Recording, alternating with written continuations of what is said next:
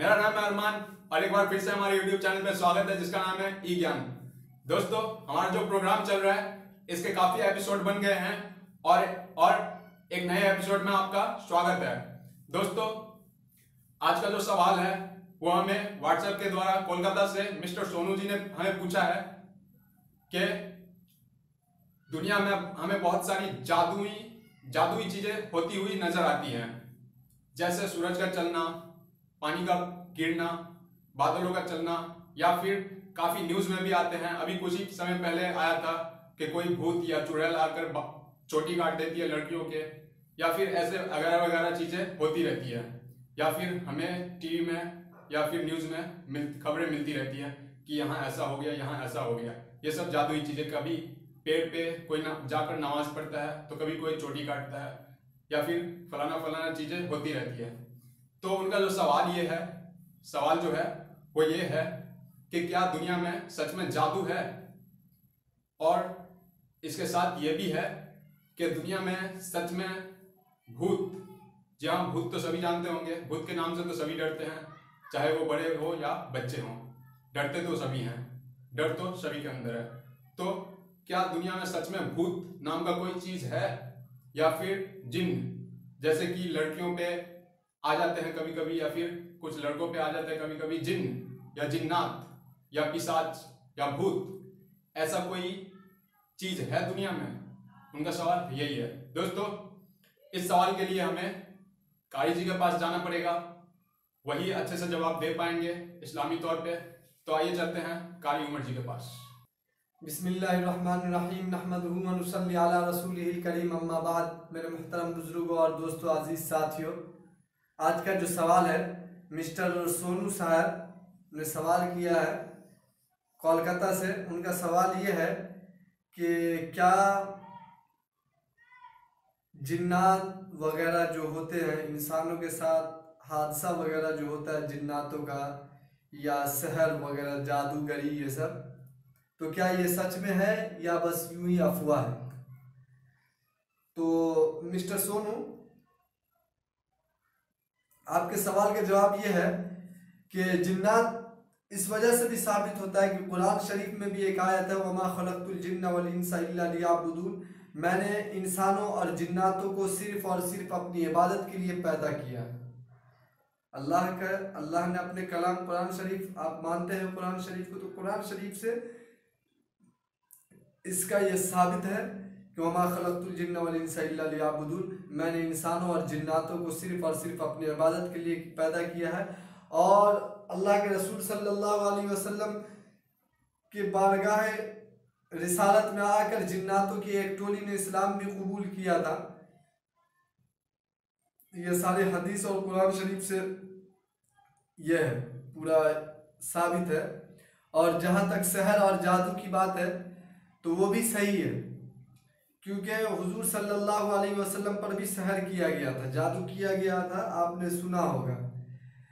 जादू भी एक सही चीज़ है। लोग उसका ये अमल करते हैं और उसके बाद उस चीज़ पर ये जादूगरी कर, किया जाता है। शहर क्योंकि हुजूर सल्लल्लाहु अलैहि वसल्लम पर भी अटैक किया गया था शहर का। समझ गए मिस्टर सोनू साहब? और दूसरी बात यह है कि अब इसमें बहुत सारी शक्ल है। जिन्नातों जिन्नात भूत वगैरह में खबीस वगैरह भी है। तो जिन्नात ही की ये शक्ल है, लेकिन एक, जैसे कि हमारे इसमें हिंदू, मुस्लिम, सिख, ईसाई वगैरह है, उसी तरह से जिन्नातों में भी है। जिन्नातों में भी हिंदू, मुस्लिम, सिख, ईसाई वगैरह सारे हैं। इस वजह से हुजूर सल्लल्लाहु अलैहि वसल्लम की खिदमत में जो जिन्नात आए थे तो उन्होंने इस्लाम कबूल किया था। उसके बाद उन्होंने कहा था कि मैं अपने अपने कबीले में जाकर इस्लाम कबूल करवाता हूँ। मैं दीन की खिदमत करना चाहता हूँ, अल्लाह के रसूल तो अल्लाह के रसूल सल्लल्लाहु अलैहि वसल्लम ने उन्हें इजाज़त दिया था। तो इस बात से साबित होता है कि जिन्नातों में भी कबीले वगैरह हैं और उनकी भी इसी तरह से दुनिया चलती है, जिस तरह से हमारी चलती है। तो उसमें भी कुछ अच्छे लोग हैं, कुछ बुरे लोग हैं। तो बुरे लोगों में वो खबीस आ जाते हैं, देव वगैरह आ जाते हैं, ये सब आ जाते हैं जो बदमाशी वगैरह करते हैं, जैसे खबीसों के बारे में आता है कि ये इसमें होते हैं, बाथरूम वगैरह में अक्सर वो पैखाना खाने खाने वगैरह का ये लैट्रिन वगैरह, गंदी गंदी जगह पे जो है वो खबीस वगैरह रहते हैं। ये सारा हर जगह से साबित है। और जिन्नात और शहर, ये सही बात है कि शहर असर करता हजूर सल्लल्लाहु अलैहि वसल्लम पर भी जादू चलाया गया था। एक बुढ़िया ने जो जादू चलाया था, आपको मालूम होगा। और दूसरी बात ये कि जिन्नात का कुरान शरीफ से भी ये है और शहर के बारे में भी कुरान शरीफ में है। मुझे लगता है कि आपके सवाल का जवाब आपको मिल गया होगा कि कुरान शरीफ से भी मैंने आपको बता दिया। तो मुझे मालूम है कि आपको, आपके सवाल का जवाब मिल गया होगा तसल्ली बख्श। वाखरुदावान अलहमदिल्लाबीआलमीन तो मिस्टर सोनू जी सोनू जी, आपको, आपके सवाल का जवाब मिला होगा कि जादू है और भूत, पिशाच या फिर जिन। आप आप अक्सर देखे होंगे कभी कभी या तो आप यूट्यूब वीडियो में देख सकते हैं।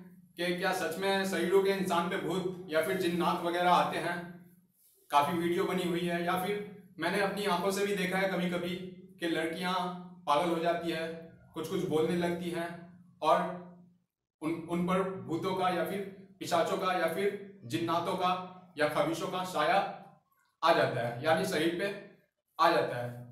और दोस्तों, सोनू जी, अगर आप ये बात नहीं जानते हैं तो इस पर आप सर्च करें। आपको मिल जाएगी काफ़ी वीडियो या फिर काफ़ी न्यूज़ भी मिल जाएँगी।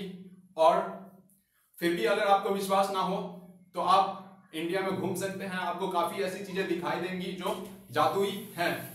आप चाहें तो हाजी अली जा सकते हैं या फिर अजमेर जा सकते हैं। वहाँ आपको जादुई चीज़ें देखने को मिल जाएगी।